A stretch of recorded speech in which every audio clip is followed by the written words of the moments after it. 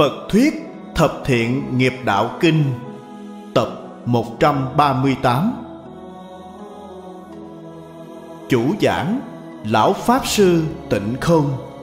Thời gian, Ngày 29 tháng 3 năm 2001 Giảng tại Tịnh Tông Học hội Singapore. Chư vị đồng học, Chào mọi người.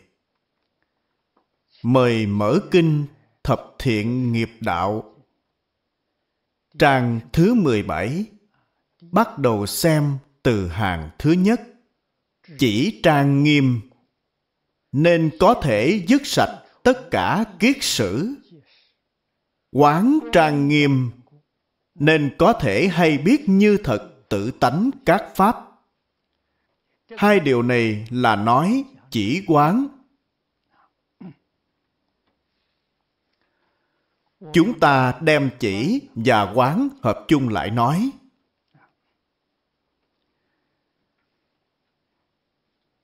Tiếng phạn của ấn độ gọi là samatha. Tỳ bà xá na, thiền na. Chúng ta đọc thấy trong kinh lăng nghiêm.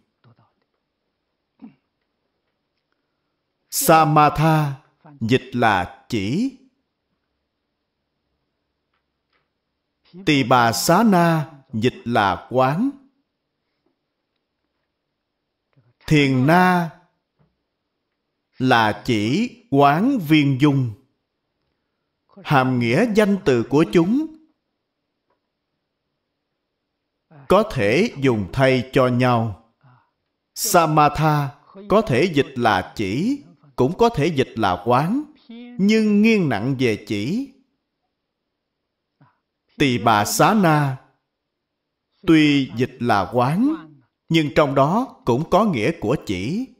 Trên thực tế, chỉ và quán nhất định là viên dung. Trong chỉ có quán, trong quán có chỉ.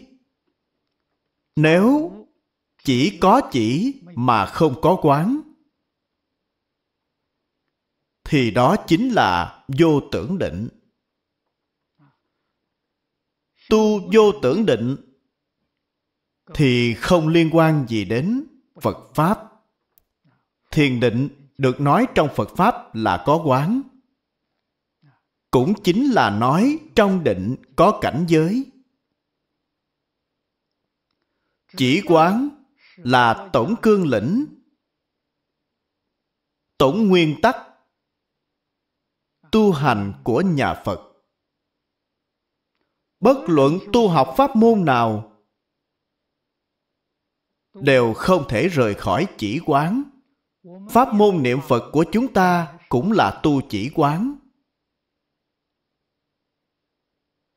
Trong niệm Phật đường, thường nhắc nhở mọi người buông xuống dạng duyên, đó là chỉ đề khởi phật hiệu. Đây chính là quán. Từ đó cho thấy, chỉ quán chính là thiền định. Niệm phật đâu có phải là không tu thiền. Thế tôn nói với chúng ta trong kinh đại tập. Pháp môn niệm phật là vô thượng thâm diệu thiền. Đạo lý là ở chỗ này. Cho nên không có thiền định thì chắc chắn không thể khai trí tuệ. Chúng ta biết pháp môn niệm phật thật sự là vô thượng thâm diệu thiền. Bạn còn khởi tâm động niệm, muốn đi học thiền, muốn đi ngồi thiền, vậy thì sai rồi bạn đã và đang tu vô thượng thâm diệu thiền. Nhưng bạn không biết. Không biết sự thù thắng của pháp môn mình đã tu.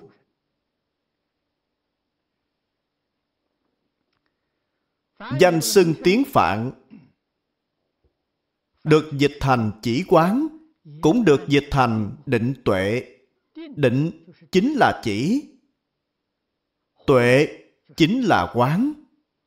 Lại dịch là tịch chiếu. Ý nghĩa này vừa nói ra thì quý vị liền sáng tỏ. Tịch là chỉ, chiếu là quán. Lại dịch là minh tỉnh minh là quán tỉnh là chỉ. Chỉ có nghĩa là chấm dứt. Có nghĩa là dừng. Trong thập thiện nghiệp đạo, dừng thập ác.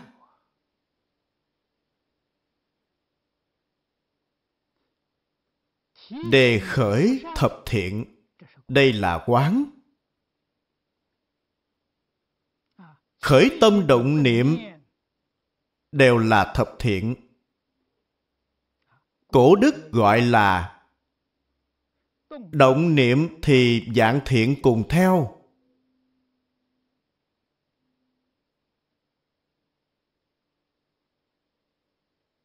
Chỉ tỉnh thì một niệm không sanh. Đây là đã đạt công phu chỉ quán rồi. Dạng thiện cùng theo. Gốc của dạng thiện chính là thập thiện nghiệp đạo. Gốc của dạng ác chính là thập ác nghiệp. Thế tôn nói bộ kinh này, từ sơ học cho đến quả địa như lai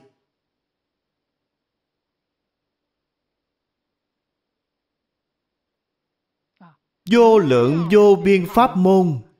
Như lần trước chúng ta đã học qua. Lục độ tứ nhiếp. 37 phẩm trợ đạo. Bây giờ chúng ta nói đến chỉ quán. Làm thế nào để thực hiện? Đều ở thập thiện nghiệp đạo. Xa lìa thập thiện nghiệp đạo thì tất cả mọi phật pháp đều là rỗng tuếch. Từ chỗ cơ bản nhất mà nói, điều đầu tiên trong tịnh nghiệp tam phước, nếu như không có thập thiện nghiệp, thì hiếu thân tôn sư từ tâm không giết, thảy đều là rỗng tuếch đây là nói đến căn bản của căn bản. Là tịnh nghiệp tam phước. Nếu như đối với thập thiện, thập ác mà chúng ta không hiểu, vậy thì chúng ta tu từ đâu? Mỗi ngày tạo nghiệp giống như trong kinh địa tạng đã nói, chúng sanh cõi diêm phù đề khởi tâm động niệm không gì chẳng phải tội. Vì sao vậy? Đều tương ưng với thập ác, nhất là ở trong xã hội hiện đại.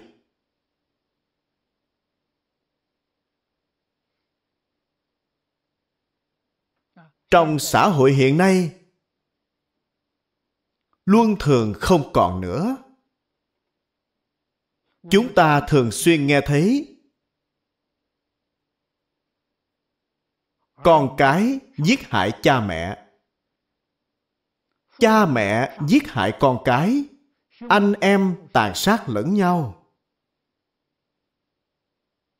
Thường xuyên nghe thấy. Loại sự việc này những năm gần đây ngày càng nhiều, ngày càng gia tăng. Đây không phải là xã hội của con người.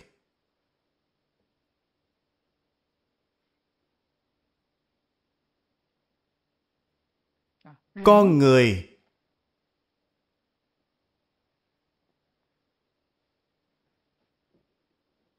phải biết đạo lý. Thế nào là đạo? Quan hệ giữa người với người là đạo. Người trung quốc gọi là ngũ đạt đạo. Đạt là thông đạt. Năm loại đại đạo thông đạt chính là ngũ luân.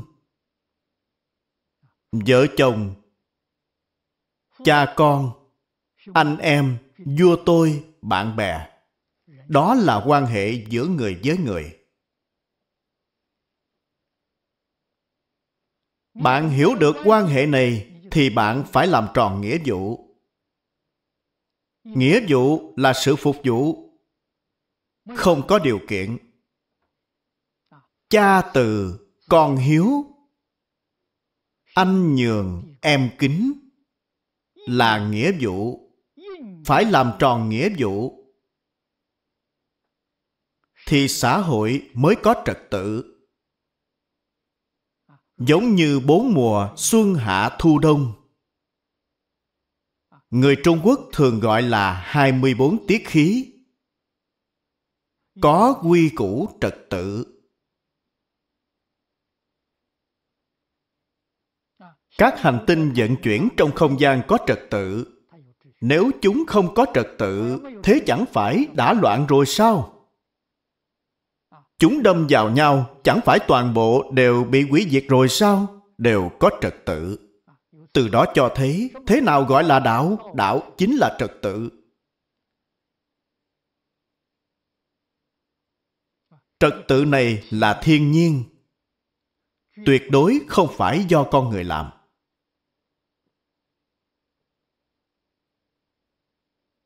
Thập thiện nghiệp là thường đạo. Là đại đạo căn bản. Là đại đạo mà trời người và thánh nhân tam thừa cùng tuân theo. Trái ngược với đại đạo này, thì chắc chắn đọa lạc.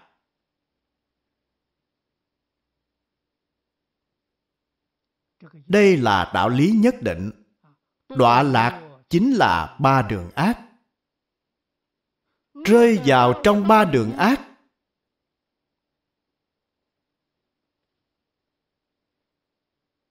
thì ân hận rồi.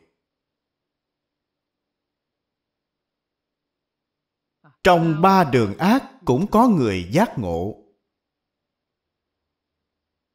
Biết sai rồi, sửa lỗi làm mới. Phật bồ tát đại từ đại bi. Không từ bỏ chúng sanh trong ba đường ác cho nên địa ngục ngạ quỷ súc sanh đều có chư phật bồ tát giáo hóa ở trong đó. Nhưng chúng ta phải biết trong kinh đức phật thường nói chúng sanh trong đường ác bởi do nghiệp chướng quá nặng.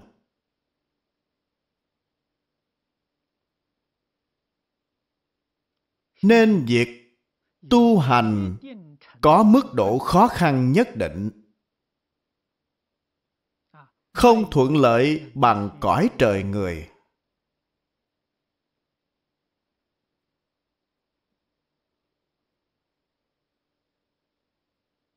Họ muốn quay đầu, nhưng không dễ dàng. Tuy nhiên, chư phật bồ tát từ bi đến cực điểm. Không bỏ chúng sanh, vẫn giúp họ. Giúp họ tiêu nghiệp chướng. Quý vị đã thấy rất rõ ràng, rất sáng tỏ trong kinh địa tạng. Giúp họ như thế nào vậy? Việc đầu tiên là giúp họ khôi phục lại thân người.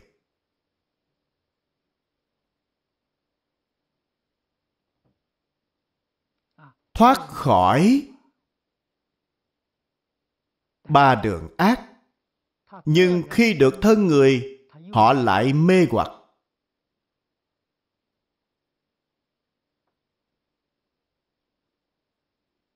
Thời gian không lâu sau đó thì họ lại quay về ba đường ác. Được thân người, muốn thành tựu trong đời này vĩnh viễn không đọa ba đường ác. Sự việc này là rất khó. Bản thân chúng ta là một điển hình. Tập khí của chúng ta tại sao nặng như vậy? Vì chúng ta là từ ba đường ác đến. Nếu không sửa đổi tập khí này, thì sau khi chết lại quay về ba đường ác giống như bồ tát địa tạng đã nói, khó khăn lắm mới giúp được bạn đến cõi người. Sao chưa được mấy ngày, bạn lại quay trở lại rồi? Ngày tháng ở nhân gian dường như rất dài, quý vị phải biết. Một ngày ở cõi ngạ quỷ là một tháng ở nhân gian. Giả như từ cõi ngạ quỷ trở lại được thân người, cho bạn sống được 100 tuổi sau khi chết rồi, lại quay về cõi ngạ quỷ. Cõi ngạ quỷ nhìn thấy bạn đi chưa được mấy ngày thì đã quay trở lại rồi. Ở đây có sự chênh lệch thời gian rất lớn. Sự chênh lệch thời gian ở cõi địa ngục càng lớn hơn.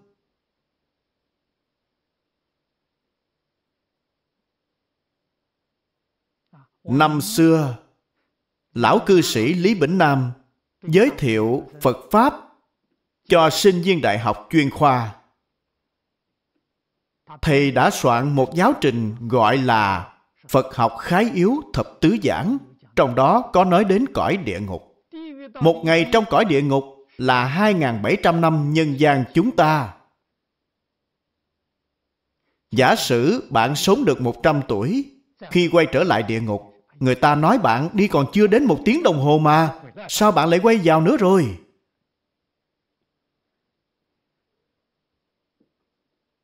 Khó lắm, cho nên quả thật là khó ra khỏi ba đường ác. Trong kinh Phật có nêu ví dụ là vừa ngoi lên lại chìm xuống. Ví dụ này rất đáng suy ngẫm. Hễ còn ở lục đạo thì ba đường ác là quê nhà. Đến ba đường thiện thì giống như đi ra ngoài du lịch. Thời gian đều rất ngắn ngủi, lập tức liền phải quay về. Cho nên ở trong ác đạo lại chìm xuống, chìm xuống dưới đáy nước rồi. Vừa ngoi lên, thỉnh thoảng ngoi đầu lên, hít một hơi không khí mới. Đây gọi là vừa ngoi lên. Phật dùng những việc này để hình dung chân tướng ở trong lục đạo. Cho nên nói tóm lại, chúng sanh trong lục đạo đều là kẻ đáng thương xót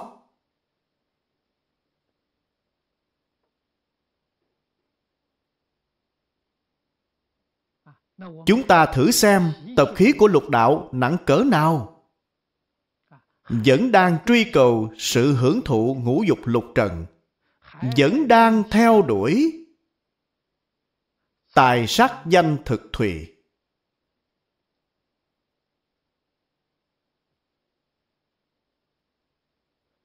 Đây là quan niệm hoàn toàn sai lầm. Quan niệm này nguồn gốc đã có từ lâu từ vô lượng kiếp quân tập mà thành.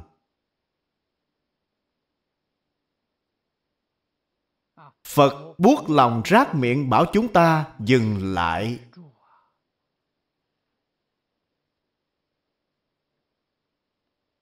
Những tư tưởng này là tư tưởng sai lầm.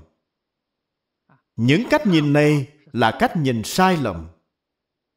Sống đời sống vật chất quá sung túc rồi, thì không muốn xa lìa.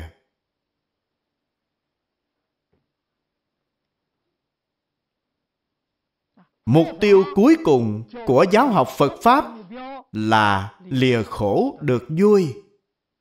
Vậy vì sao phật đề xướng khổ hạnh? Chẳng phải ngài dạy chúng ta lìa khổ được vui sao? Tại sao phật phải tu khổ hạnh? Tại sao tán thán tu khổ hạnh? Lìa khổ được vui mà phật nói, không phải là cái vui của trời người trong lục đạo. Chúng ta phải hiểu rõ điều này. Lìa khổ được vui mà phật nói là vui của thế giới tây phương cực lạc, là vui của thế giới hoa tạng.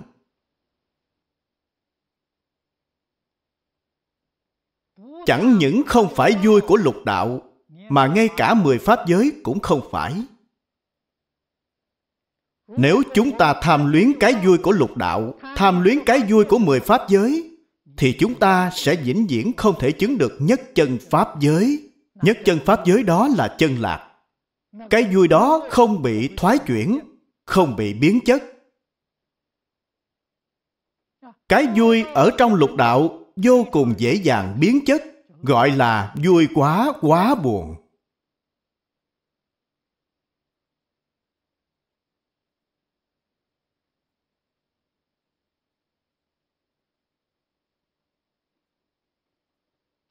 Chiều hôm qua, chúng tôi giải đáp vấn đề. Có một đồng tu hỏi.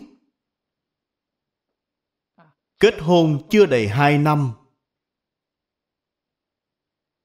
mà giờ, ngày nào vợ chồng cũng cãi nhau. Khi bạn mới vừa kết hôn, chẳng phải vui sao? Thời gian vui còn chưa được hai năm thì buồn đã đến rồi. Hai năm xem ra vẫn còn dài. Có một số người kết hôn dài ba tháng là ầm ĩ cả rồi. Những sự việc này chúng ta quan sát tỉ mỉ thì sẽ giác ngộ. Biết đây là nghiệp duyên. Chán ghét mà phải gặp nhau. Là khổ chắc chắn không phải vui. Phật nói cảnh giới mà a la hán chứng được là tiểu quả, là vui nhỏ. Thoát khỏi lục đạo luân hồi đến tứ thánh pháp giới thì gọi là tiểu quả.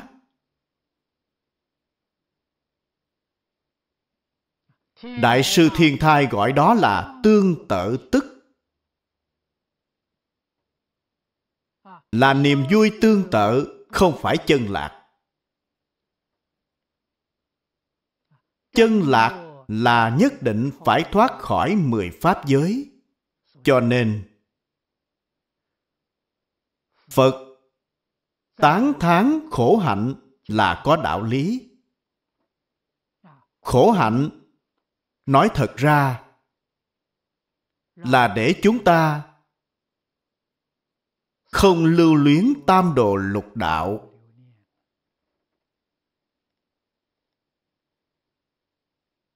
Nếu chúng ta gặp được duyên thù thắng, niệm phật cầu sanh tịnh độ, đời này mới có thể có thành tựu. Nếu như từng ý niệm của bạn không xả bỏ,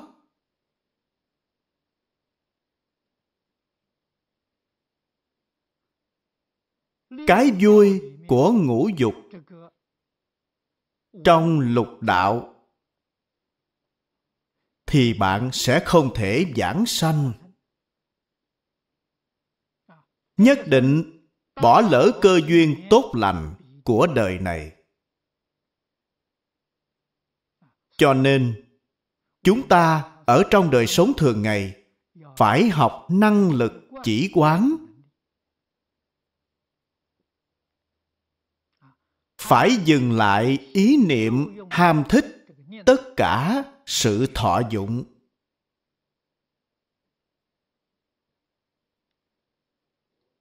Tất – cả pháp thế xuất thế gian phải nhìn thấu rõ ràng.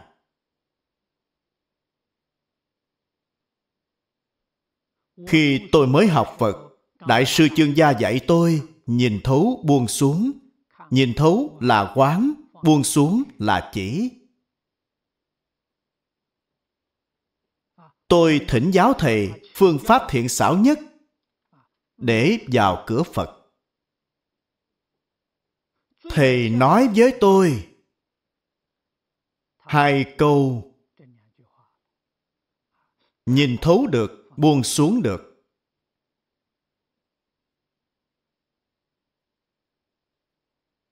Đây vẫn là chỉ quán vì tôi mới học phật, nếu thầy nói, chỉ quán, thì tôi không thể hiểu. Nên thầy đổi cách nói khác là, nhìn thấu, buông xuống, như vậy tôi có thể nghe hiểu. Nhìn thấu là phải quan sát tỉ mỉ chân tướng sự thật. Điều quan trọng nhất của chân tướng sự thật là nhìn thấu nhân quả. Nhân quả bày ngay trước mắt bạn có thể nhìn ra được nhân như thế nào thì kết thành quả báo như thế đó. Từ quả báo, nhìn thấy được nhân hạnh của nó. Từ nhân hạnh, bạn có thể nhìn ra quả báo. Vậy là bạn sáng tỏ rồi. Thấy đều nhìn thấy rõ ràng sáng tỏ rồi thì bạn đương nhiên sẽ buông xuống. Làm gì có đạo lý không buông xuống được? Không buông xuống được là vẫn chưa nhìn thấu rõ ràng. Phải biết đạo lý này. Ý nghĩa của chỉ và quán vô cùng rộng. Xuyên suốt toàn bộ phật pháp.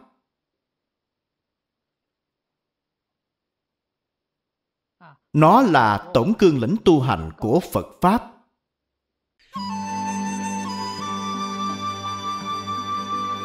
Nguyện đem công đức này trang nghiêm phật tịnh độ trên đền bốn ân nặng, dưới cứu khổ ba đường. Nếu có ai thấy nghe, đều phát tâm bồ đề.